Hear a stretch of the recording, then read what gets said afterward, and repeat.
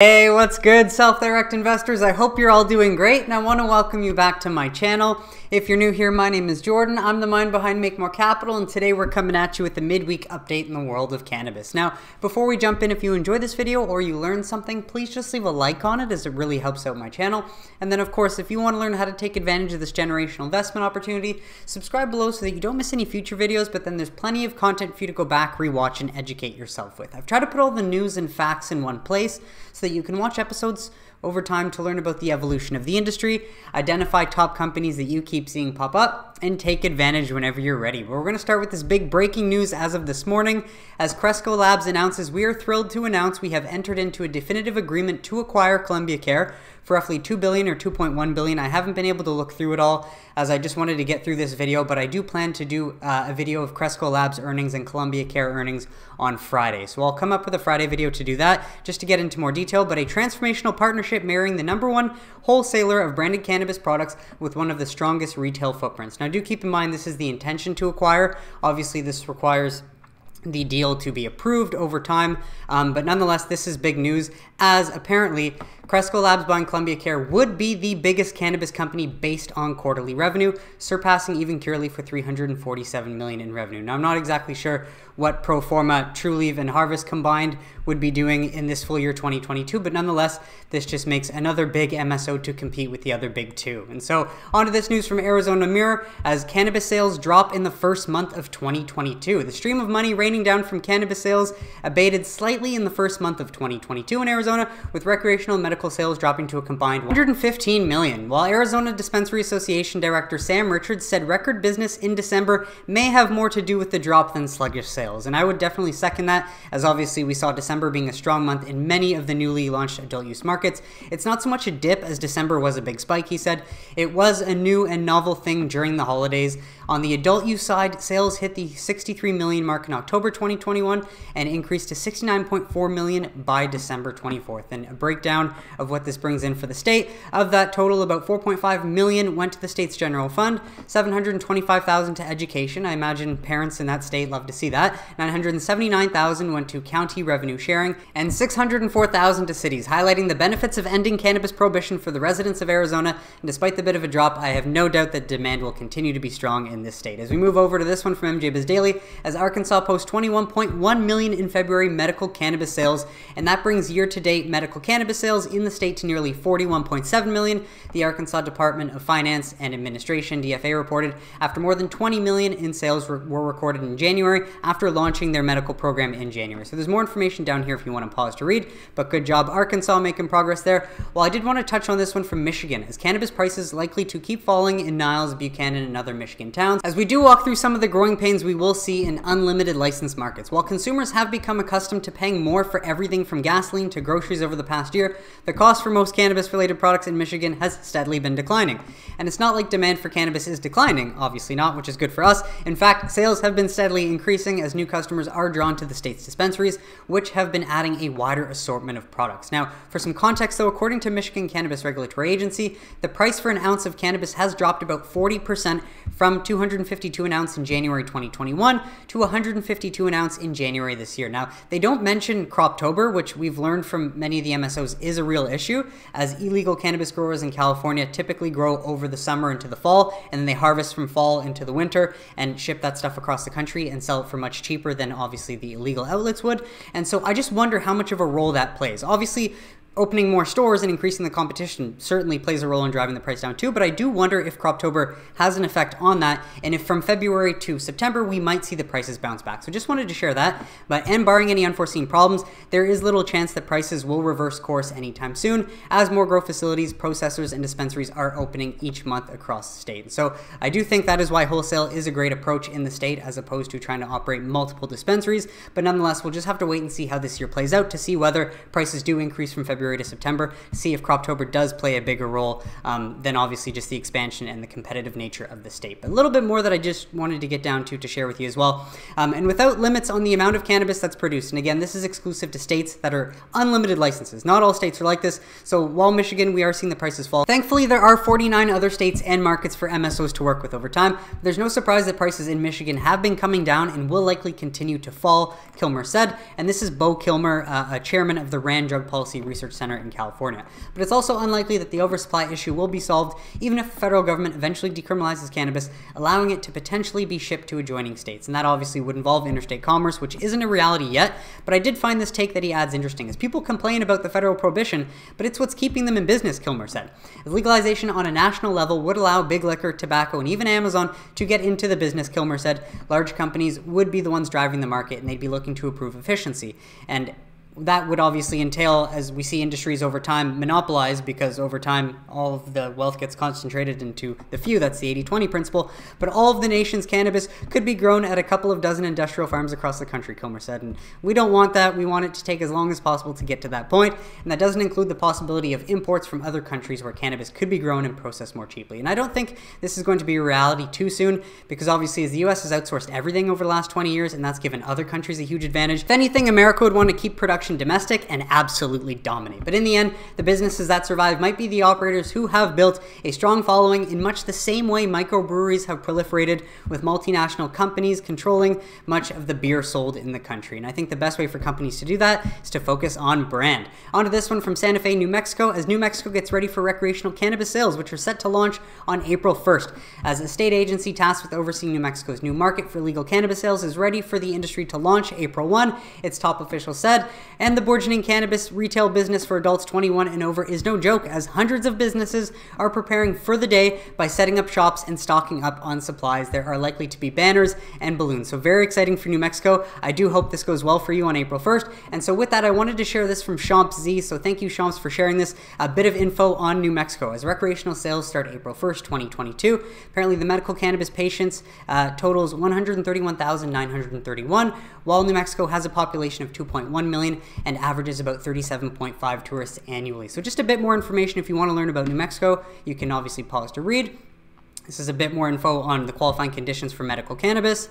Um, same, and a further breakdown of medical cannabis patients in the state. And so some safe news from The Hill. Thank you, The Hill, for sharing what I was covering last week as cannabis industry goes all in on banking push before midterm. So it is good to see this sort of awareness in the mainstream outlets as they do cover that many, more than 20 CEOs of the cannabis industry were meeting with Congress last week in a blitz to try and get some incremental reform done. And the main takeaway is cannabis companies say they report those reforms that the CAOA wants to try and get done, and they want to right the past wrongs. But they stress that an decriminalization bill would not receive the 60 votes it needs to get through the evenly divided Senate. So that is where we sit as we move into April, and we anticipate the, the launch of New Jersey coming up, and then Chuck Schumer introducing his CAOA, which will be dead on arrival, and then so hopefully he can use some of the remaining pieces left over to get safe plus some sort of social equity. And just want to cover that the Dales report is also mentioning the same thing that the Hill was reporting as cannabis businesses strengthen push for banking without restrictions. So good to see this awareness out there. But main thing that they say is cannabis as cannabis industry heads believe that there is enough support from the Republicans to pass the Safe Banking Act in the Senate today. However, if the bill were delayed for vote until after the midterm elections, the potential shift to the right side of the aisle might spell bad news. And you best believe the CEOs made Chuck Schumer aware of that fact, especially if he wants to see full scale legalization. Because if they lose the House and the Senate, which they likely will at this point, especially if they do nothing, then the Republicans might end up passing safe because they're much more business friendly, but full scale legalization is likely out the window. So, in short, the clock is ticking for the passage of the Safe Banking Act, and the, especially because the longer the Democrats wait, the more blood they have on their hands. As we lose another one too soon. Jordan Brown, 29 years old, was shot and killed during a robbery at a cannabis shop last Saturday simply because cannabis dispensaries still have to operate in cash because Chuck Schumer chooses to work for big pharmaceutical companies who pay him to delay the passage of the Safe Banking Act as opposed to working for the American people who voted for him. So it's a damn shame and more reason why SAFE needs to be passed sooner than later. So just wanted to share this from William Jonathan, who shares this snippet. It looks like the vote in the Senate for banking is on Thursday, March 24th. And from my understanding, this begins the conference process to finalize the America Competes Act. And while there is a chance SAFE will not make it into the final version of the America Competes Act, much like it didn't make it into the final version of the NDAA, I think regardless, we got to thank Rep. Ed Perlmutter for getting it in there, spreading the awareness on SAFE, and actually giving us a shot this time around as well. And so, while it's wise for us to plan for the worst, let's hope to be pleasantly surprised. And so, a bit more snippets on SAFE as Pablo at Cantor with a note after meeting with Rep. Perlmutter. So, thanks, Todd, for for sharing this. He gives his two cents as there is room to become more constructive, stating that with expected support of more than 60 votes in the Senate for SAFE right now, it would just take Majority Leader Schumer calling a vote to ensure the passage. But he does add that we believe a recent massive and well organized lobbying effort by various groups may be increasing the pressure on Congress to act now and pass SAFE. So thanks for sharing that one, Todd. But on to this one from Height on Safe Banking. So thanks, Todd, for sharing this one. They're a bit more. Uh, or a bit less bullish and more bearish on the industry overall, saying that bottom line, our odds are less than 20% that Safe Banking Act is enacted into law in the 117th Congress. We expect the Senate to take up the America Competes Act, strip out the House passed legislative text, and replace it with the Senate's USICA bill. This action would remove safe banking from the legislation. So while both are a possibility, we don't know what's going to happen, so don't take this as exact advice. It's just speculation from investment firms. We really just have to wait and see what's going to happen. But did want to share this one from Todd as well. From 8 Capital on on U.S. cannabis, saying leading MSOs currently trade at a 2.7x next 12 month sales and 8x next 12 month EBITDA, lowest levels since March 2020 COVID lows. And so you can pause to read uh, more on the snippet, or you can grab the link below if you can't see this full bit down here. But on that note, I just wanted to share uh, what MMG Wealth shared because I also do find this interesting. So thank you, MMG Wealth, for sharing this. Want to see something interesting? Comparing a high growth software company known as Snowflake Inc. with Curaleaf, one of the fastest growing US MSOs and one of the fastest growing emerging markets in the US. And so this was posted on Sunday, so this likely reflects the share prices as of Friday close, which represents $222.85 for Snowflake and $6.74 for Curaleaf. But let's take a look at a few other things. Total revenue uh, last 12 months, 1.22 billion for Snowflake and 1.21 billion for Curaleaf. Interesting. Compounded annual growth rate for the last 12 months, 105.95% versus 93.04%. Quite high for both of these companies. Well, if we look at their enterprise divided by sales last 12 months, 52x, so they're trading at a, at a market cap valuation of 52x their enterprise value divided by sales for the last 12 months versus Curaleaf trading at a 4.4x their enterprise value divided by sales for the last 12 months. That is wild. And then their profit divided by gross profit last 12 months, we have 89.7x versus 6.9x for Curaleaf, which means either Snowflake and Curaleaf are fairly valued right now at these prices, despite very similar total revenues and compounded annual growth rates for the last 12 months, or it tells us that Snowflake is severely overvalued or fairly valued, and that Curaleaf is significantly undervalued based on the very similar total revenue and compounded annual growth rates for the last 12 months. Because if we look at Snowflake's share price right now, $223.50 representing a market cap of 67 billion US dollars versus Curaleaf well, today Curaleaf is trading at $6.60, representing a total market cap or valuation of $5.2 billion. And so that is why I call this a generational investment opportunity. When they have very similar total revenue and compounded annual growth rate, yet one is valued at $67 billion and the other one's valued at $5 billion, simply because one industry cannot uplist onto major exchanges because they still deal with cannabis, while the other one can list on major exchanges because it's a high-tech software company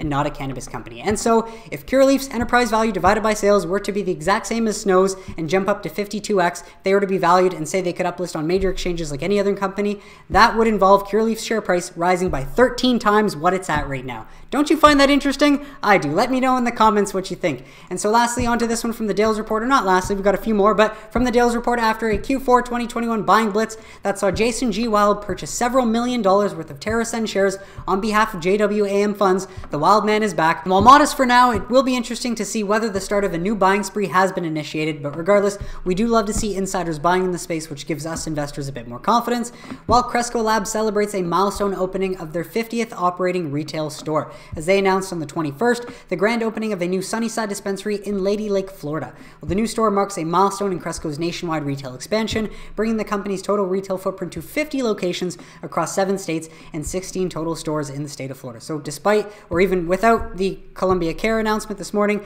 they do continue to expand. So good to see that out of Cresco. And so on to some state news as Cannabis Business Times shares that cannabis senator introduces legislation to bar municipalities from prohibiting medical cannabis dispensaries within their jurisdictions. And so I think this is going to be very helpful for the industry in California as they try to fight the illicit market. A Senate Bill 1186 would require all cities and counties to allow licensed medical cannabis dispensaries, licensed medical cannabis deliveries, or both, the news outlet reported. The legislation allows cities to choose which form of medical businesses they allow, but they must allow at least one type. And so SB 1 1186 aims to prevent Proposition 215, California's Compassionate Use Act that the voters approved in 1996 to legalize medical cannabis from being undermined by local jurisdictions that have blocked access to medical cannabis by banning both dispensaries and delivery services. And so SB 1186 does not take local control out or does not take local control of adult use cannabis businesses away from California's municipalities, according to the news outlet, but it prevents them from prohibiting all types of medical cannabis retail. So I will cover this as it develops in California, but good to see this as this might be one way to force more openings or at least more acceptance of the industry and help fight the illicit market there. We've got some news from Marijuana Moment out of Maryland as lawmakers approve millions in funding to implement cannabis legalization if reform is enacted. So, great news as they're preparing to have this on the ballot, and they are expecting a yes from voters as key Maryland House Committee advanced a Senate approved budget last week, adding new amendments that would allocate tens of millions of dollars in funding to implement cannabis legalization with the expectation that reform will ultimately be enacted this year. The House Appropriations Committee cleared the amendment legislation on Friday. It would provide about 52 million to support the implementation of cannabis legalization facilitate expungements for prior cannabis convictions, and fund a disparity study to better understand the barriers to entering the cannabis market. So good job, Maryland, as you get as you prepare to legalize next year. And then on to this one from New Hampshire, as Marijuana Moment reports, New Hampshire lawmakers approved state-run cannabis legalization bill with amendments, sending it back to the House floor. So a bit of progress out of New Hampshire, as a House committee approved an amended version of a bill to create a state-run cannabis market for adult consumers, sending it to the full House for a second floor vote. And if the chamber passes it again as amended, it will will be transmitted to the Senate and then hopefully become a reality sooner than later. And so I will provide updates as this is interesting. New Hampshire is the first state to go with a state run model, and it will be interesting to see how that conflicts with the federal laws and the extra 280E taxes that they likely won't want to have to pay. So over to Belize quickly as the Senate revises the cannabis regime in Belize, legalizing for adult use. So good job, Belize, as the Senate has approved amendments to the misuse of drugs. 2021 initially intended to legalize cannabis in Belize for adult use.